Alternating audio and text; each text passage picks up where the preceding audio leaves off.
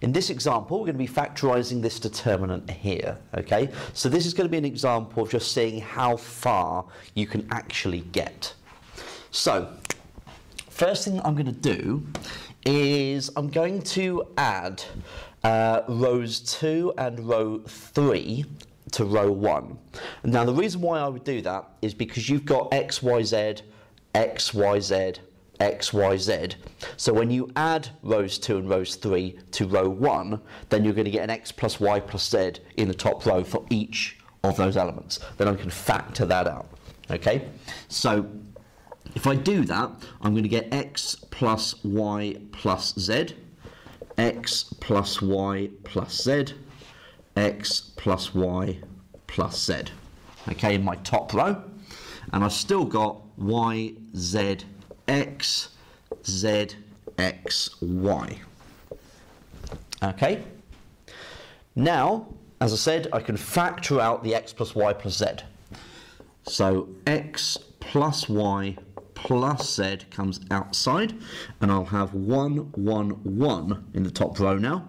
y, z, x, z, x, y. Okay, so the next thing I'd probably want to do is, because I've got these ones here, if I subtract row, uh, sorry, column one from each of these, I can get zeros uh, in those two elements there. So, I've got the x plus y plus z out the front, and I'm going to do uh, the old column 2, so this column 2, take away column 1, so column 1 is going to stay the same, 1yz. And I'm going to get 1 take away 1, which is 0. z take away y. And x take away z. And I'm also going to do column 3 take away column 1. So I've got 1 take away 1, which is 0. x take away y. And y take away z. Now, in the, the stage that I've got it to, okay, there's nothing more I can factor out. It's now time to actually do the determinant, okay? So I've got the x plus y plus z. Then all I need to consider is 1 times the determinant of this smaller matrix inside. Okay, so I've got z take away y times y take away z.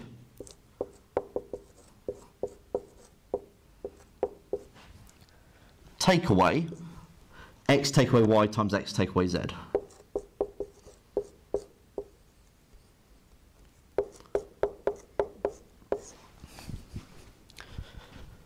So I'd probably want to expand that out.